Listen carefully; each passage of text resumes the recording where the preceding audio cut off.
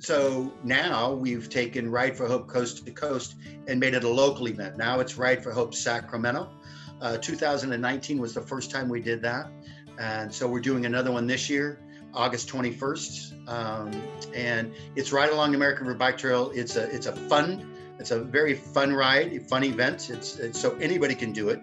Uh, it's not a 10 day ride.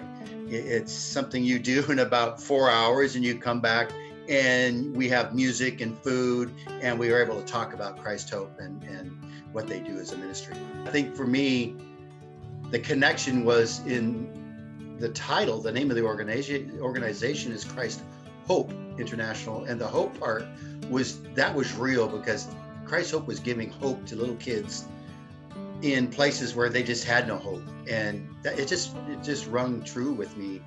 Um, and so i've been a part of it ever since you know, we started this a year ago and COVID hit.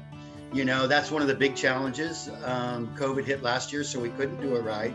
And, you know, if we think about it, you know, right now is the time that we need this funding because it is really, COVID has really impacted Africa. And if you look at orphans and vulnerable kids and people in Africa who don't have what we have here in the United States.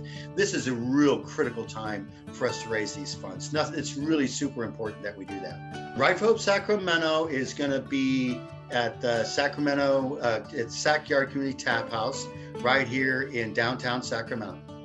If you are not a cyclist, but you believe in the ministry and what we're doing, you can also, if there's a rider that's riding, you can actually go to their, their rider page and donate to them. I'm encouraging the writers to do that um, to help raise those funds. So our goal this year is to raise fifty thousand um, dollars, and we're we're getting close. Come join us for uh, August 21st for Ride for Hope Sacramento 2021.